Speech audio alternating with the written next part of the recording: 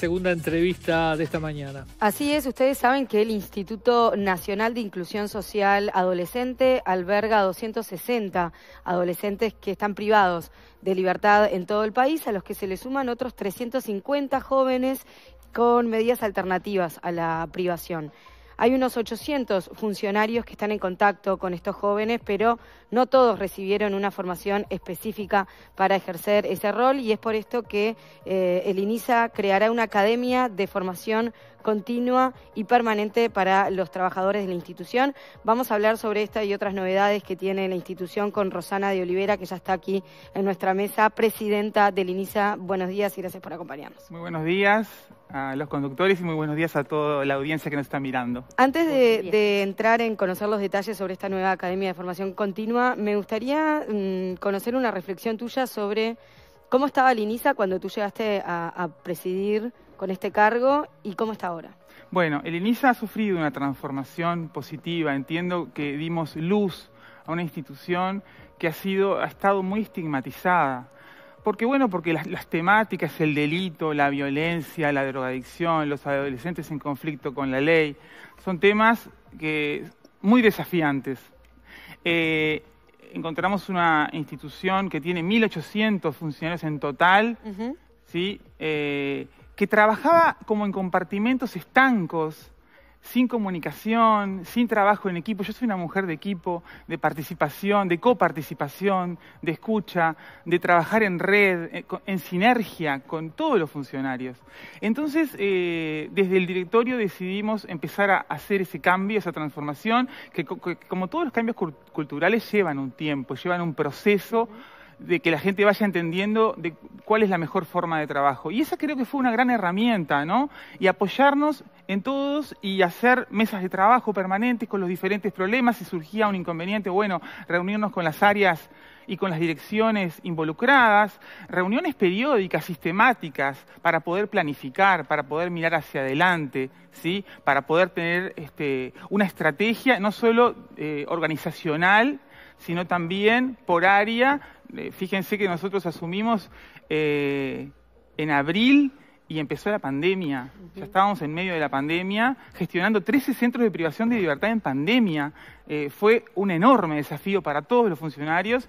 Eh, siempre digo que, somos un, equipo, un equipo muy grande, el equipo de, directorio, el equipo que cada directora tiene, pero a su vez el equipo de todos los funcionarios que se pusieron la camiseta y que, salimos todos juntos y los números, por suerte hoy, lo están, lo están comprobando. Creo que esa fue un poco la estrategia de, que, que poquito a poco fue permeando la institución y se fue entendiendo cuál era la voluntad o la nueva lógica que queríamos tener. Ordenar, protocolizar, que también es algo que no, estaba preestablecido, hacer más protocolos, hacer más controles, para tener un Estado eficiente, para poder ser más eficaces y eficientes desde todo punto de vista, desde, desde el manejo de los recursos humanos, y desde el manejo de los recursos este, económicos. Ya vamos a entrar a conocer esos, esos números que decís, pues son el reflejo cuantitativo de esta evolución muy satisfactoria que mencionás, pero definamos ahora sí cuál es el, rol que va a tener esta academia Bien. y con cuántos trabajadores efectivamente va Esta academia, y lo quiero resaltar, es una de las estrategias que comenzó en la gestión anterior.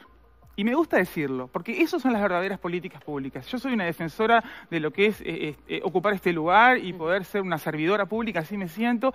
Y esta estrategia de la Academia de Formación Continua y Permanente comenzó en la gestión anterior, en el año 2019, cuando la Unión Europea, a través del programa contra el crimen transnacional organizado, el Pacto, es la sigla, eh, envía una referente a Uruguay, Chira Stefanelli, una socióloga que trabaja en el Ministerio de Justicia de Italia y que maneja a los adolescentes en Italia, recorre todos los centros, conoce la institución a fondo, vuelve a Italia, asumimos nosotros, comienza la pandemia y nosotros dijimos, esto lo tenemos que continuar. Seguimos mucho tiempo trabajando virtualmente con los diferentes equipos también de la Unión Europea y hoy podemos decir con orgullo y celebrando que esa academia, y bueno, ahora el 21 de septiembre vamos a... Este, a inaugurar lo que es el edificio y por supuesto les vamos a invitar a toda la prensa, ni que hablar.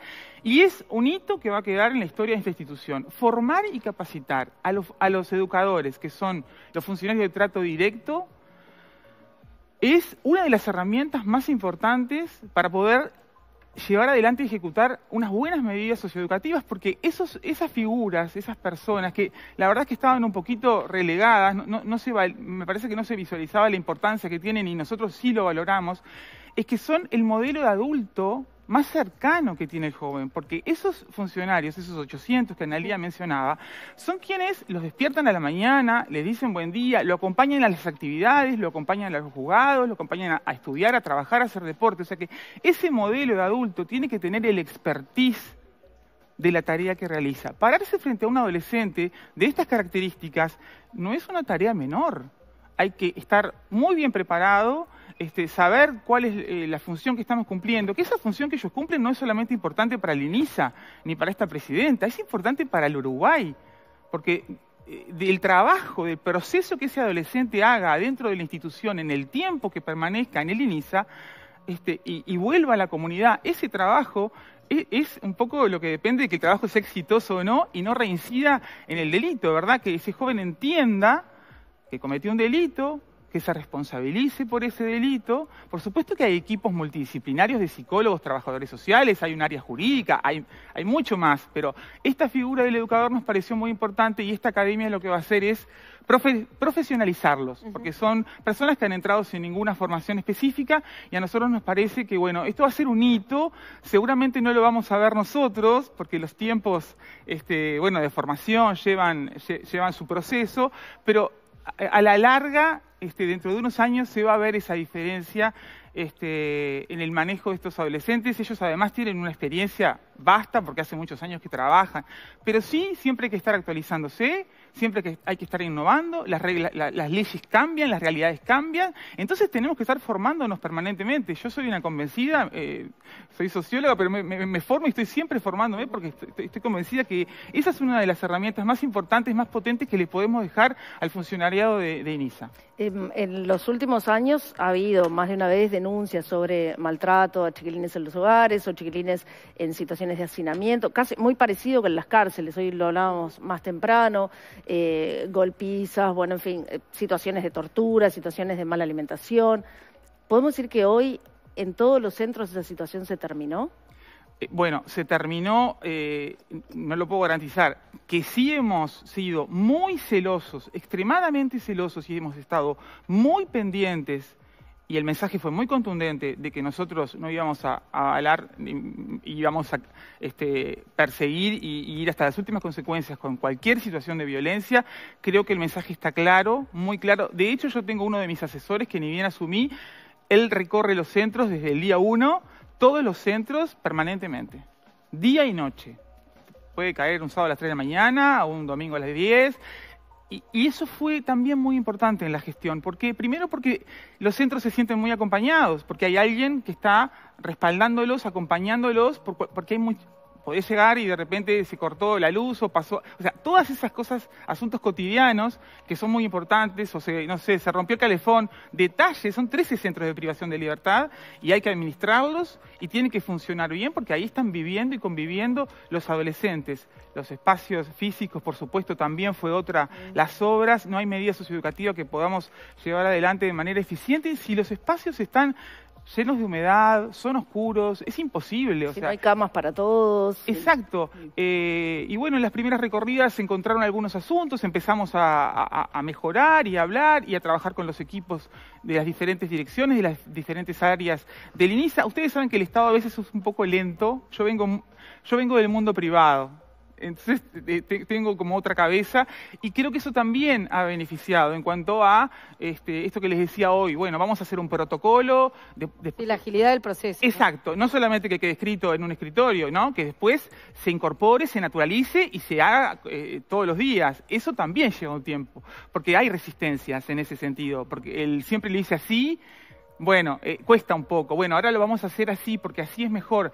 Pero siempre en diálogo, siempre escuchando a la gente. Para mí la coparticipación ha sido fundamental. Yo soy una mujer de trabajo horizontal, ustedes pueden preguntar en el INSA, yo estoy en un centro, si llego y tengo que correr, ponerme a, pintar o hacer eh, estoy, hidrolavo, hago hablo con ellos, estoy permanentemente porque para mí la horizontalidad y la coparticipación en, la gobernanza tiene que ser algo que esté eh, incorporado, naturalizado, porque eso contagia Y eso, este, el tema de tener una buena actitud hacia la escucha, hacia alentar a alguien, a los funcionarios, a mí me parece fundamental y lo hago siempre porque me parece que eso contagia y, se va entendiendo cuál es el, cuál es el espíritu ¿verdad? De, esta administración. Usted ha presentado una serie de, gráficas con resultados de su gestión que me gustaría repasarlas para luego preguntarle sobre ellas.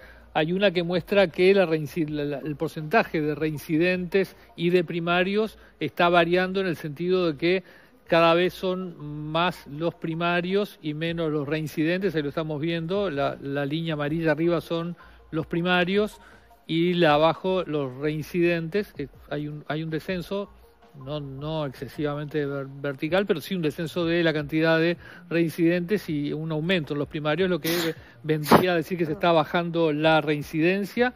Luego hay otra gráfica que usted muestra la cantidad de fugas que hemos tenido en los últimos años que han ido cayendo. Em, tenemos en 2019, 2020 siete fugas, 2021 4, en el 2022 0, ahí lo estamos viendo también. Leo, permitime que en el 2020 yo asumí, porque está bueno aclarar, aclarar en abril y, la, y cinco habían sido en, febrero. O sea que sí, sí son en el año, pero no son de esta administración. Bien, también tenemos otra gráfica que habla de los, esta que me parece muy importante, intentos de autoeliminación, que tiene un descenso que ahora es, una pregunta obligada que tenemos que hacerle, mm. eh, cómo se logró esto, ¿no? Porque habla que en el 2019 hubo 181 eh, intentos de autoeliminación y eso ha ido cayendo hasta prácticamente una cifra muy baja ahora, bueno, muy baja todo, cada, cada intento es importante, obviamente, ¿no? Pero significativamente menor. en comparación. entre 181 y 7 hay un abismo y vemos cómo ha ido cayendo año a año. Eh, nos quedan otras dos gráficas. Es el promedio diario de horas de encierro, también ha ido cayendo desde, eh, lo estamos viendo ahí, 2019, 9 horas promedio de encierro, a la mitad en el 2022. Y eh, también tenemos la última que por lo menos tengo yo acá, que es la cantidad de horas de educación formal que tienen, o de logros en educación, en la educación formal que tienen los este, chicos que están en el INISA porcentaje de logros, de adolescentes con logros, pasó del 43 al 71 en 2022. ¿Cómo se logró todo esto? Son muy impactantes, parece haber un cambio radical. Mm. Por mi parte, compromiso, dedicación en un 100%, eh, responsabilidad por el lugar que ocupo, empatía, trabajo. no hay más que eso. O sea... ¿Pero solo ese esfuerzo? bueno, bueno eh, por ejemplo, algo que quiero resaltar con respecto a los números. Si ustedes observan, eh, por ejemplo, el, de intento de autoeliminación, 181 es un año de no pandemia, es el 2019. Años de pandemia, 2020, 2021, bajamos a la mitad. O sea, estamos bajando los y las horas de encierro pasa lo mismo. Pero, pero tiene eh, que haber una explicación en, bueno la metodología. ¿Qué estrategia permitió este Bueno, esto que les dije antes, nosotros, eh, por ejemplo, cuando asumimos, empezó la pandemia, no había estudio, no había trabajo, no había nada, como, como en todo el mundo, los adolescentes eh, no podían ni estudiar ni salir a hacer deporte. Bueno, nosotros hicimos, pusimos este un profesor de educación física en cada centro para que dentro del cotidiano ocupara un tiempo importante más de lo que tenían habitualmente, porque ahora tenían mucho más tiempo disponible. Se pusieron canchas de rugby en toda la colonia de Berro, porque tenemos espacio suficiente como para eso, y empezamos a apoyarnos mucho en el deporte, invertimos el doble en pelotas, redes, zapatos de fútbol. Eh, esa, esa, fue una estrategia que, que para mí es una de las más importantes que, hace que eso suceda. ¿Por qué? Porque salimos del encierro, vamos a la naturaleza. Hay un compromiso también. Hay un compromiso. Somos parte de un equipo. Ustedes saben lo importante que es en la adolescencia los pares, los otros. Bueno, en el rugby puede jugar un gordito, un flaquito, el chiquito, el alto, porque uno, hay diferentes posiciones. Tenemos espacio para todos respetar reglas. ¿Está generalizado el, jugar rugby entre los...? En, en Colonia de Berro sí, y algo que te lo dicen los funcionarios es que era impensado que, por ejemplo, en Colonia Barro, que tenemos siete centros este, de privación de libertad, interactúen y jueguen al rugby. Miren que yo les estoy diciendo que esto tiene un impacto, de, tiene un contacto físico muy fuerte. Nunca tuvimos un problema, nunca tuvimos, ustedes ven que hay problemas en los liceos, en los, eh, bueno, cuando hay un partido de fútbol ni que hablar. En el rugby es muy especial porque tiene además... Eh, baja, baja, bueno, baja, estos jóvenes no tienen mucha tolerancia a la frustración, hay que cumplir reglas, hay que ser disciplinado. Se levantan los martes a las 8 de la mañana porque esos son los días que hay práctica. Ahora estamos queriendo incorporar otro día más. Eh, yo creo que eso eh, es parte de este gran cambio, porque no hubo otra cosa, no hubo ni más recursos humanos, los equipos multidisciplinarios de psicólogos y trabajadores. Pero esa propuesta repercute en el suicidio, en los logros académicos, en todo. No, no, los logros académicos no, estoy hablando de los. No, digo, tal vez la disciplina aplicada a la educación bueno, también. El, el, deporte no forma de todo punto de vista, salud física, salud mental, este, respetar al otro, respetar los espacios, y el rugby tiene además el tercer tiempo, que tampoco lo tienen los otros deportes, y ese es un momento de escucha, y de poder decir lo que sentimos y que los profes y que todos hagan una devolución. Ese espacio es muy importante. Pero en, el aumento de los logros educativos hubo un Bueno, no, eso es lo que pasa que son, estamos comparando, eh, en ese cuadro puntualmente sí están los dos años de pandemia y el año de pandemia, que es 2020, 2021 y 2022, claramente porque, bueno, hubo más actividades y salimos a, volvimos a la, normalidad. ¿Y el suicidio hay una explicación concreta o te parece que también es, una medida espejo de esto? Yo, creo que también es un poco eso, obviamente los, los eh, en, la, en la época época de pandemia eh, nos, este, nos, enfocamos mucho con los equipos psicotécnicos, o sea, eh, nos reunimos con ellos y dijimos, bueno, vamos a empezar a trabajar fuerte, a contener emocionalmente, a hacer otro tipo de, talleres o estrategias. Eh, de verdad que se fortalecieron, se redoblaron los esfuerzos desde todos los equipos psicotécnicos, ni que hablar. Este, porque ah, recuerden que hubo momentos que hasta teníamos cortada la visita, la visita tenía que ser virtual. Acuérdense que hubo momentos muy complicados. Y estamos con adolescentes y con, y con adolescentes que tienen perfiles este, también de historias complicadas. En una gráfica que no tenemos, eh, usted me mostraba antes del programa que hay un aumento, por primera vez hay más medidas alternativas que de prisión en el INISA. ¿no? Creo que ahí puede estar otra de las claves. A ver si se puede tomar una cámara a esa gráfica. Tenemos la, no se ve bien, pero bueno, ahí. ahí, se ve. La línea. Esto creo que fue. La línea roja, naranja son las medidas alternativas. Exacto. Siempre dan menos que las de prisión, que son la línea azul. Sí, por primera vez por en primera vez la cruza y son mayores las alternativas que las privativas. Eso puede ser una, clave, porque eso está en discusión en todo el Uruguay para eh, también el sistema penitenciario, para las cárceles, donde tenemos graves problemas y los operadores piden más penas alternativas, la población en general lo resiste. ¿A ustedes les ha dado resultado? Es verdad. Bueno, en el mundo, eh, nosotros otra del, nos hemos apoyado mucho en todas las instituciones y organismos del Estado, sin duda, hemos, hecho convenios con todos ministerios, juntas. Eso también, INISA solo no va a ningún lado. INISA necesita que todo el Estado esté enfocado en estos adolescentes. Estos adolescentes son el presente en nuestro país y tienen que prepararse para el egreso, para responsabilizarse por el delito que cometieron, ni que hablar, ni que hablar, y en eso se hace mucho foco, pero también reinsertarse a la comunidad como ciudadanos de bien, entendiendo que el delito no es un camino válido. Y ese es un proceso que lo tienen que hacer individualmente. Y los equipos trabajan para eso, cada uno tiene un programa individual. Pero con respecto a lo que me preguntás, Leo, eh, creo que esto es un cambio de la ley de urgente consideración que se empieza a aplicar lo que es el proceso abreviado en adolescentes, que antes no se podía.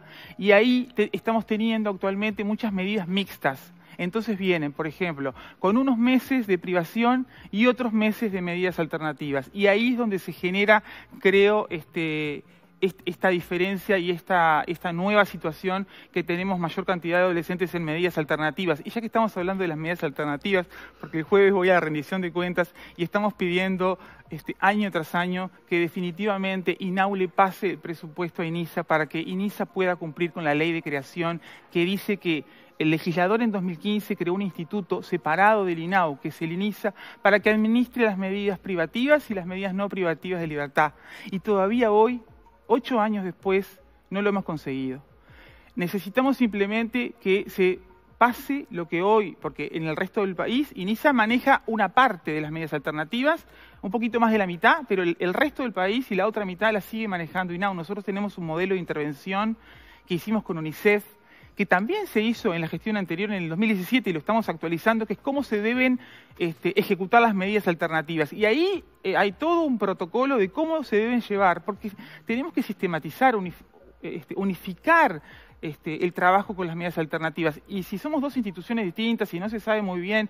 Eh, a nosotros nos parece muy importante y, lo, quiero aprovechar este espacio para que, por favor, este, lo tengan en cuenta y podamos cumplir con la ley y que el INISA definitivamente se encargue de las medidas alternativas en el resto del país. ¿De cuánta plata estamos hablando?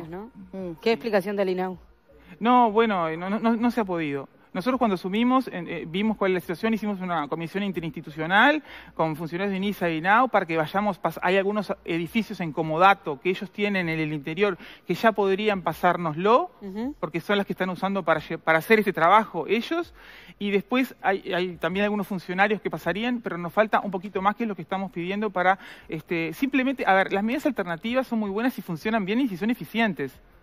Pero si funciona mal, claramente, eh, estar en el territorio, estar visitando a su familia eh, de un adolescente que está este, con medida alternativa en su casa, en su barrio, en, su departamento, en su ciudad, el Estado tiene que estar presente en los territorios porque si no estamos presentes nosotros, está el crimen transnacional organizado captándolos. Mm. Entonces, a mí me parece muy importante que eso se tenga en cuenta y que podamos este, definitivamente cumplir con la ley. No estamos pidiendo ni más ni menos que eso. Dos cosas. ¿De cuánta plata estamos hablando? Bueno, eh, en principio INAU nos daría cinco, cinco departamentos eh, porque ya tiene cinco edificios que nos podía pasar en comodato, siempre, porque lo vamos a hacer gradual, tampoco este, pretendemos que se haga todo de golpe, si en ocho años no se ha podido avanzar, entonces la propuesta es que se haga gradual y que en esta rendición de cuentas, que es la última, este, sean cinco departamentos los que se pasen este, para INAU, serían esos edificios. Ellos tienen 17 funcionarios educadores y necesitamos, según el modelo de intervención que hizo UNICEF en el 2017, que es el que estamos actualizando,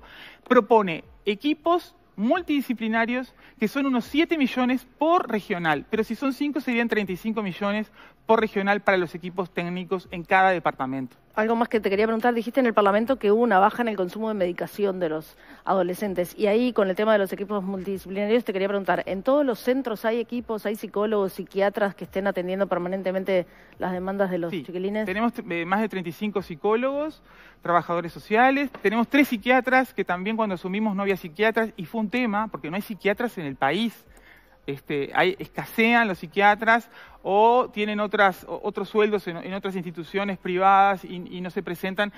Hicimos varios llamados al principio de la administración y quedaron desiertos. Por suerte hoy podemos decir que tenemos tres, así que estamos bien. Y, otra cosa con, respecto al consumo problemático, bueno, el 90%, y, el 90 ingresa con consumo. Cuando asumimos en Colonia Berro no había atención nosotros creamos la unidad de consumo problemático que funciona en el hospitalillo de Colonia Berro, porque si no los jóvenes ingresaban por Montevideo cuando pasaban para, el centro de permanencia en Colonia Berro ya no tenían más atención. Eso nos parece importante y fue otra estrategia que es fundamental porque la mayoría entran con consumo. Es insólito que no, que no lo tuvieran. Era así. Le hago otra pregunta. El directorio del INISA tuvo momentos de tensión, un conflicto entre usted y la directora del Partido Nacional, Sandra Echeverry que se terminó con que el Partido Nacional la cambió por otra directora que hoy es Rosario Pérez en representación del Partido Nacional. Hay una denuncia contra usted que dice que todos los funcionarios que hablaron en contra de Echeverry en el programa Santo y Seña, luego tuvieron ascensos en el INISA y todos fueron este, premiados y están hoy en mejores posiciones de la que estaban antes de salir en el programa de la competencia hablando mal de la directora que estaba enfrentada con usted. Ese fue un momento este, muy triste, la verdad. El problema, yo no yo soy una persona, ustedes no me conocen, pero soy una persona muy flexible, que solo estoy pensando en la institución, eh, que nunca pongo lo político por encima de lo institucional, nunca. Yo en el directorio pueden pedir información, eh, cuando voto, a mí no me importa de dónde venga la propuesta, no me importa de dónde venga la propuesta, si es, es buena y beneficiosa para transformar la vida de estos adolescentes o también beneficiar a los funcionarios, mi voto está siempre. Eh, y creo que esas cosas, a veces, eh, lamentablemente, las instituciones están muy politizadas y yo, la verdad que hago, pienso y digo en el mismo sentido y así voy a actuar siempre. Pero los funcionarios que, denunciaron a Echeverry fueron ascendidos. No, no, la verdad que no recuerdo no, no, recuerdo quiénes son los funcionarios que dicen que fue, que, fue una situación bastante, este, ¿cómo decirlo? Eh, complicada, entreverada, no sé. Eh, no, no, no, no, no sé. ¿A qué se debía el mal relacionamiento tan intenso? Yo, digo de esto, yo actúo, este, pienso y digo, no pongo lo político por encima, no hay intereses superiores en mi accionar, eh, yo soy institucional y defiendo la institución que estoy presidiendo a como lugar. Eh, no sé, no, no todos tenemos los mismos intereses, los míos son estos, van a seguir siendo estos, el camino está marcado y los números demuestran que este camino, por lo menos no es un, es un camino bueno porque tiene buenos resultados. Ustedes me están preguntando qué se hizo para tener este cambio tan radical. Ustedes recuerdan lo que era el INISA años anteriores, todos vimos los videos que han... Eh, hoy eso no existe, hoy tenemos un sistema estable y si me dejan dar una premisa... Adelante. Eh, Siempre son bienvenidas. bueno, tienen... Eh, INISA cerró el centro CER, el centro que estaba en Colonia Guerra, un centro de máxima seguridad. Ha sido un proceso que no lo hemos querido comunicar porque, porque bueno, porque hay que esperar, que fue un proceso largo que se hizo muy a conciencia, de manera muy profesional por todos los equipos, pero hoy el centro CER está cerrado en la Colonia Berro. Fue un, fue un centro muy cuestionado por todas las organizaciones nacionales, internacionales, en Ginebra y en todos lados. Hoy, en esta administración, el centro CER MD está cerrado. ¿No hay ningún otro centro de máxima seguridad como Bueno, este? tenemos un espacio que, lo creamos nosotros en esta administración. Eh, no es un centro, es un espacio de tratamiento este, transitorio, así le quisimos llamar, que es para algunos perfiles. Ustedes piensen que llegan jóvenes con patologías psiquiátricas, que en realidad la ley dice que, la ley internacional dice que no deberíamos tener eh, privados de libertad personas con enfermedades psiquiátricas, porque eso es para otro tipo de atención de salud mental, pero como delinquen, terminan en el INISA, y nosotros tenemos que, y nosotros lo hacemos, por supuesto, pero este, pero bueno, básicamente es por ahí. Ahora han recibido al homicida de Valentina, la chica de Maldonado. Sí, Valentina Cancela. Valentina Cancela lo van a tener por muchos años. Bueno, todavía eh, está cautelar, el joven está tranquilo, eh, se han hecho eh, la pericia que hace este, la dirección justamente de pericias que se envía a la justicia. Estamos todavía dentro de los tiempos. justo hablaba ayer con, con los psicólogos. A fin de esta semana se va a estar enviando a la justicia el informe. El informe fue un informe técnico que se aplicaron las técnicas que utilizan los psicólogos para para el trabajo que, tienen que informar la justicia. Se hizo un trabajo con el joven, con su mamá, con su papá, con su entorno, con su familia, y bueno, eso se envía a la justicia. El joven está tranquilo, tiene un buen comportamiento, está sumándose a las actividades, porque por supuesto es un adolescente, está yendo a taller de, ajedrez, está haciendo eh, deporte, y bueno, y va a seguir estudiando, por supuesto. ¿Y él se reconoce a sí mismo como un femicida? La verdad que no, no, estamos haciendo el informe y, de todas maneras esa información no, la puedo no la puedo decir. Muy bien, Rosana de Olivera, presidenta del INISA, muchas gracias por gracias. gracias a ustedes, es un placer. gracias. Nosotros vamos ahora a actualizar